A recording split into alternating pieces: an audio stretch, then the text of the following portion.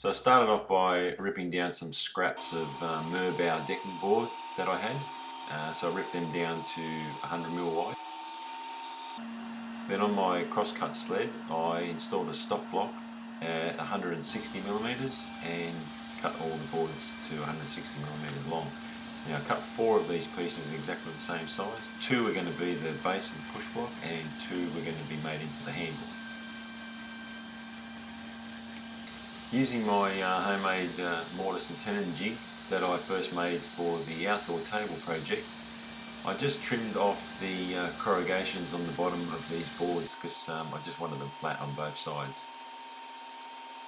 A little modification I made to the tenon jig was that clamp you see there, just uh, to help hold smaller pieces of timber.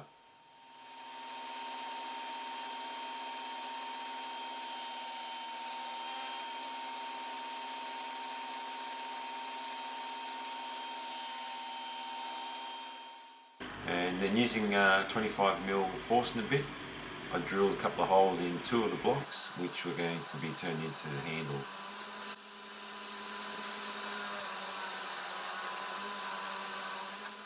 Uh, to prevent tear out when I'm drilling through boards with a Forstner bit, I usually only drill halfway through and then extend the holes, the centre hole with a small drill bit and then just turn the board over and finish it from the other side. It gives a nice clean cut.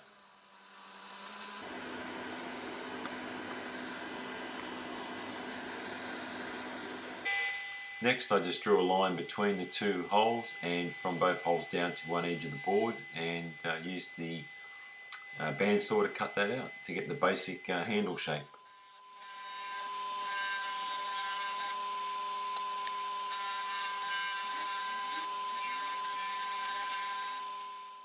Now then I just rounded over the inside edges with a half inch round over bit in the router just to make them uh, more comfortable in the hand and uh, the outside edges of the handles I just use my trim router with a I think it's a 5mm round over bit. With the basic handle shape now done um, all I had to do was trim them to height. I trimmed them once and they felt too high so then I trimmed them again. The angle of the blade is uh, set at seven and a half degrees. Just they just felt comfortable wanted a little bit of a um, slant on those handles.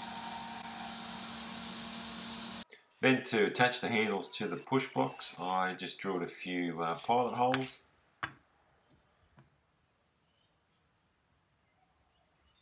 Then extended those pilot holes through into the handles.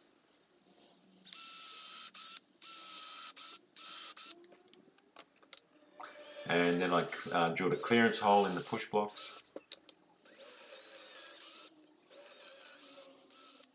And countersunk those holes just enough to take the screw head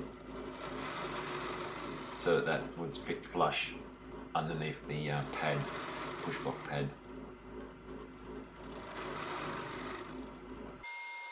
Uh, I rounded over the push blocks with again with my trim router and uh, a 5mm round over bit just to take that sharp edge off.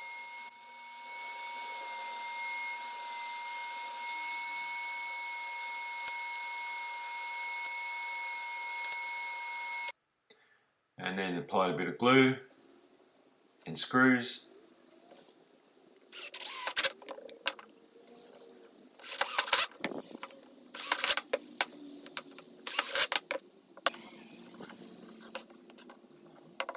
Last thing to do was to uh, put the pad on and what I did I just used some mouse pads computer mouse pads pulled off the blue felt.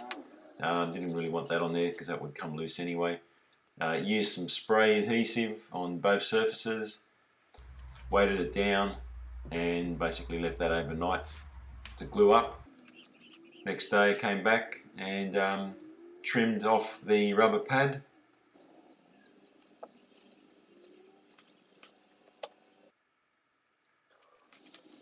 and there you have two homemade push blocks.